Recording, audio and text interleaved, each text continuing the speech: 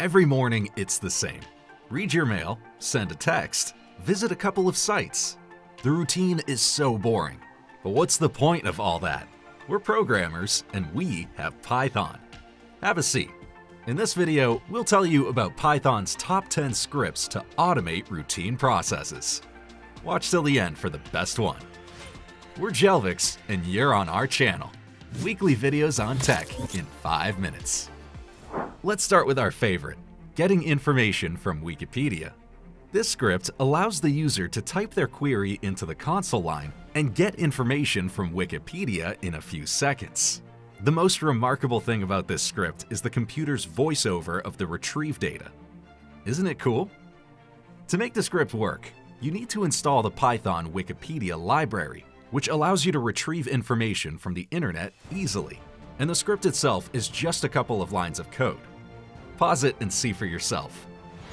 Let's continue with daily services. Weather information. This script is for you to check the weather daily. It'll communicate with your favorite weather service and send notifications to your desktop whenever you open your laptop. Here, you'll already need two libraries, Beautiful Soup and Toast Notifier. We recommend reading our example. Want to save a YouTube video in two clicks? You can. YouTube is a treasure trove of helpful information. After all, you watch this video on YouTube too. This script uses external API and saves the video in the device's memory in a couple of clicks. It works with PyTube and Tkinter libraries.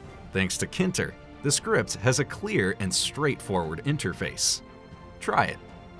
Continue with a valuable script for reading enthusiasts. The idea for this mini program came from our project manager. She needs to keep a dozen tabs open in her browser to monitor all the tasks.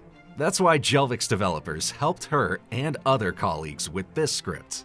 The principle is elementary. You enter the links to the sites you want to read later, and don't worry about losing them. Clicking on the script, you immediately open all the tabs you want. All you need is the web browser library. Press pause and take a look. And now, let's help those who don't like to read much. This script scans your chosen PDF file and saves it in audio format. Perfect for giving your eyes a rest. It works on the PyPDF and PyTTSX3 libraries and only takes 10 lines of code. Can you make one of these?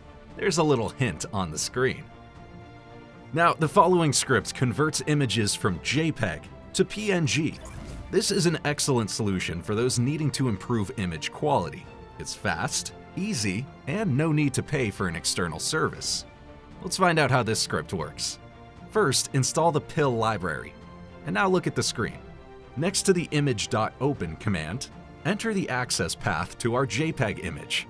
Next, specify the placeholder path next to im1.save, where we want to save the PNG file. Voila! Everything works. Now we do the opposite. The previous script is easily reworked to achieve a contrasting result. Of course, JPEG files are used less often now, but the need remains. This is what it looks like in the console. Let's make it harder. How about automatically summarizing a Wikipedia article? This script allows you to find the information you're interested in and reduce lengthy articles to a few paragraphs. The result is achieved thanks to the GenSim library, which can process natural languages. We recommend you pause it and take a look at the results. Now let's take care of security and look at the password encryption script.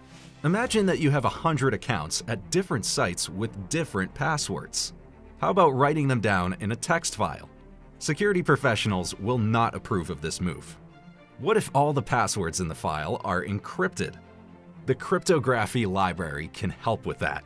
This code encrypts all your passwords, and only you can access them. Let's see. The last script will be handy for marketers and entrepreneurs. An automatic mailing to WhatsApp. Without further ado, thanks to the use of two libraries, PyWhatKit and CSV, Python can work wonders. The script can read phone numbers from, for example, an Excel spreadsheet and send them messages in different messengers. Very useful. Another thing we recommend is AI writing tools. Watch our video on the best tools, how they work, and examples of us using them. Support us by commenting on this video and clicking the like button. This video was prepared by the Jelvix team. We help top brands worldwide to innovate and accelerate digital transformation. We share the latest news about tech trends and innovations. So make sure to subscribe not to miss a single video. Bye for now.